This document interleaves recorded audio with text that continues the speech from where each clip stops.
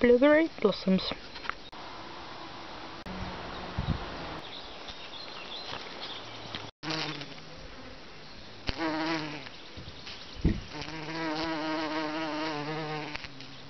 And behold, the first strawberries have started to bloom.